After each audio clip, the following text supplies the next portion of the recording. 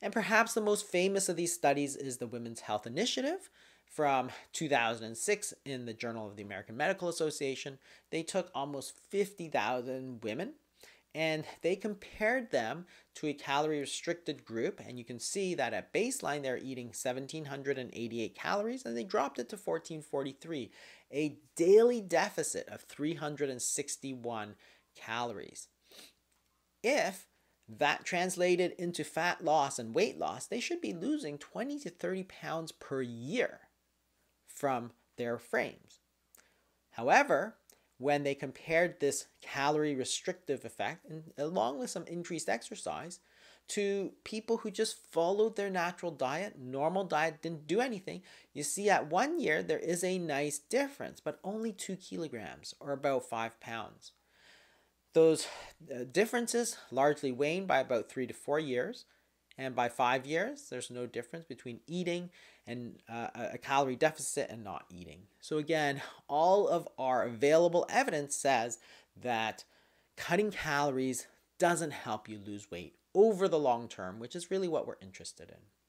And we're pretty sure why that happens. So, we've done so many studies over the years. This is a meta analysis, which is a compilation of 29 published studies, which shows the relationship between how much, how many calories you take and how many calories you're burning. So it's looking at RMR, which is resting metabolic rate.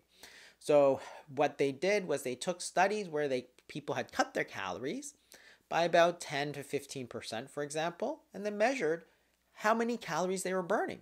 And what they found was that they're burning about 10 or 15% less. So therefore, if you're eating 10% fewer calories but burning 10% fewer calories, your overall weight is not going to increase. Because remember, in most of these studies, they're not paying attention to what they're eating, simply the total number of calories. In fact, their conclusion is that they can state with some certainty that a decrease in energy expenditure is a universal response to energy restriction, which translates into if you eat fewer calories, your body will burn fewer calories. And that's a universal response. So, if that happens, then of course the body fat is minimally changed. So, the question is why doesn't it work? Why doesn't cutting calories work? And it's really because it's a very simplistic way of thinking of things. When you're looking at calories, it's really just the sort of proximate cause. That is, if you think about an analogy, for example, suppose you suffer from alcoholism. You might say, for example, that hey, it's simply a problem of too much alcohol in versus too little alcohol out, right? So the solution is to just drink less alcohol. Well, that's wrong. That in fact never works. Telling somebody who has alcoholism to just drink less alcohol is guaranteed to not work. Why? Because you haven't gotten into the deeper reason why they are drinking the alcohol.